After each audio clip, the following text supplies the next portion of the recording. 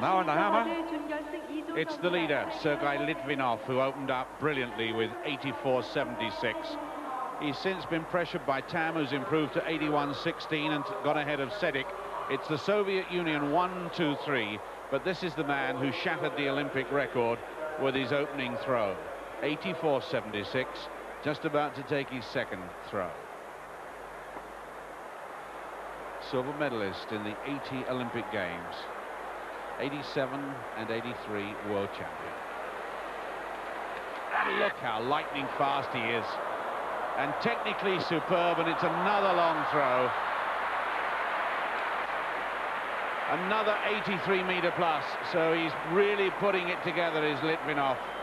Second turn, third turn, fourth turn, brilliantly, head back, and high lift, and stays in the lead.